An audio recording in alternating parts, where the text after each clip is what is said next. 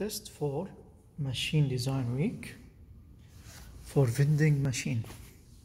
I'm using a tiny 44 with coding through Arduino. So we, we have uh, the sensor proximity IR sensor to sense the coin when coming inside the machine. If the sensor is on then it will give me two options. To pick the the right product by pressing the push button or the left product by pressing the other push button. And the products on the right or on the left will uh, work uh, will the servo motor will rotate to push the product out from the machine. So let's make a quick test.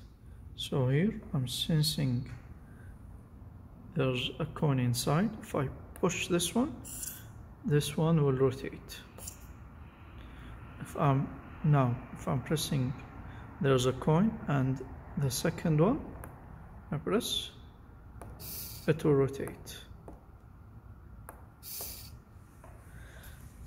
And this is for the week 9